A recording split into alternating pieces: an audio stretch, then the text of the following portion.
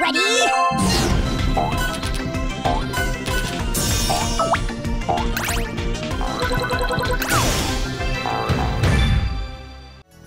大家好，我是艾玛，欢迎收看今天的电玩宅速配。各位霹雳布袋戏迷们，掌声欢呼吧！因为呢，霹雳布袋戏呢也要改编成线上游戏喽，所以呢，你想要挑战超强大的霹雳布袋戏大魔王吗？那霹雳神州 Online 等你们哦！只要是台湾人，一定对霹雳布袋戏耳熟能详。在霹雳国际多媒体数十年的努力耕耘下，每星期有超过百万戏迷固定收看霹雳布袋戏。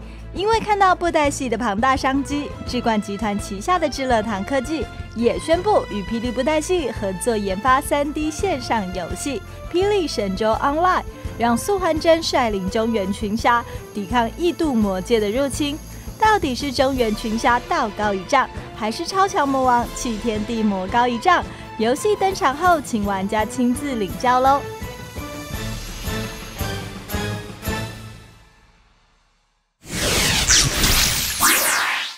好，问大家一个问题哦：如果让你重新选择身份的机会的话，你会想要当仙人，还是会想要当魔王呢？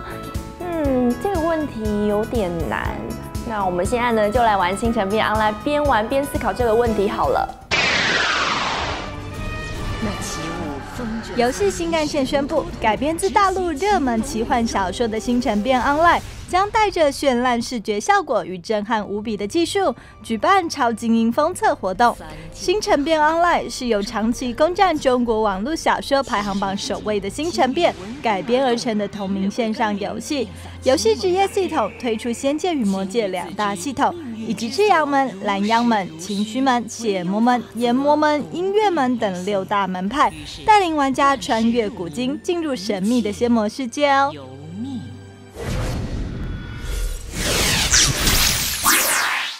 喜欢动作游戏的玩家呢，应该听说过雷曼超人系列吧？这个头像绑着螺旋桨的小不点呢，在十几年前呢，可是非常火红的一个角色哦。而事隔十五年之后呢，他们也推出了最新作品《雷曼超人起源》，它的画面表现呢，超级细腻，很像在看卡通影片一样哦。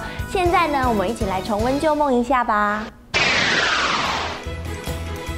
虽然 Ubisoft 的公司这几年靠着《刺客教条》《纵横谍海》等硬派暴力游戏走红游戏界，但大家可别忘记，他们在十多年前可是靠着一款可爱风格的动作游戏《雷曼超人》一战成名的哟。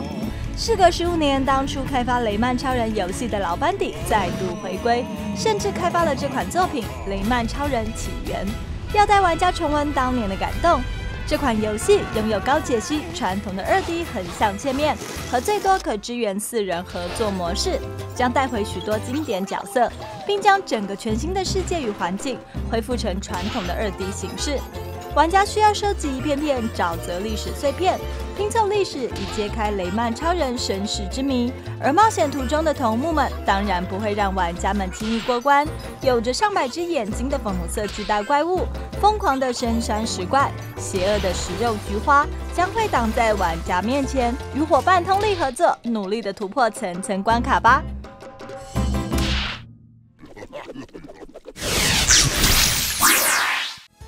玩游戏的时候，除了有控制器玩之外呢，没有其他方式了吗？像这款呢，墨鬼呢，它除了有独特的水墨画风格之外呢，让大家在玩的时候用手指画的埋单哦，哇，还蛮特别的。所以呢，等游戏销售之后呢，大家可别错过喽。Sony 新掌机 PlayStation Vita 发售在即，也有越来越多的新游戏陆续公布。像这款日本 Acquire 公司开发的动作游戏《魔鬼》，就是风格很特殊的作品。游戏以独特的水墨风格呈现，游戏中的场景、人物都有独特的水墨质感。游戏设定在一千年前的日本平安时代，玩家操纵的主角魔鬼，为了把逃到人间的妖魔鬼怪一一抓回地狱而展开冒险。而游戏最大的特色在于使用触控荧幕，玩家能使用道笔画出前进的道路，或是使用自然笔施展大范围的火焰攻击。至于召唤笔，则可召唤攻击力更强大的陌生，给予敌人致命打击。这款魔鬼的独特视觉风格，加上触控新玩法，明年二月游戏推出后，玩家不妨玩看看哦。